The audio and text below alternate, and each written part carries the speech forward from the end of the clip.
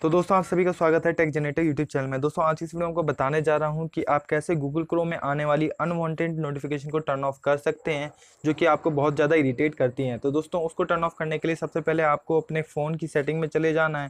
तो यहाँ मेरा एम का स्मार्टफ़ोन है।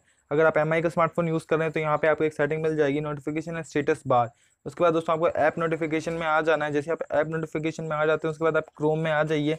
और यहाँ पे आपके में ये ऑन होगा। जैसे ये भी आप देख सकते हैं तो आपको इसे ऑफ़ कर देना है।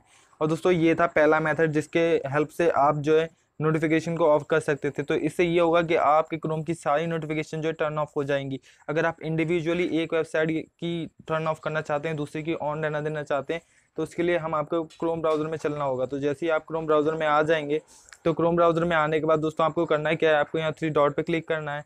और यहाँ सेटिंग पे क्लिक कर देना है। तो दोस्तों, अगर आप जानना चाहते हैं कि ये डार्क डार्क क्यों आ रहा है मेरा क्रोम ब्राउज़र तो दोस्तों, मैंने इसके ऊपर पहले एक वीडियो बना रखी है कि आप क्रोम ब्राउज़र में डार्क मोड कैसे इनेबल कर सकते हैं, आप उसे यूट्यूब कार्ड में देख सकते हैं। उसके बाद दोस्तों, आपको पॉपअप्स और नोटिफिकेशन को ब्लॉक करने के लिए साइट की सेटिंग में आना है। जैसे साइट सेटिंग में आ जाते हैं तो यहाँ पे आपको नोटिफिकेशन का ऑप्शन मिल जाएगा।